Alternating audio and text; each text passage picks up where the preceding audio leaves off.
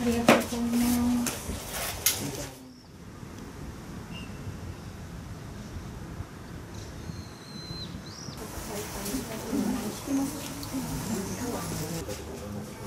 そうですね、一回、えーと、現場を見たいということだったので、えーと、本格的にこう島を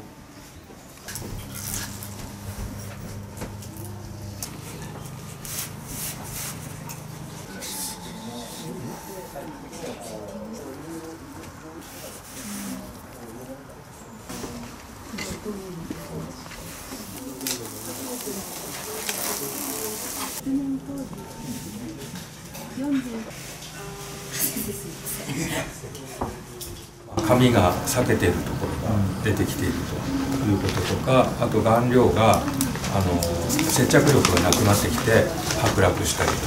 というようなことがあの典型的な症状なんですけど今の状態よりも悪くならないように、えー何十年後先まで今の状態を保っていければいいというような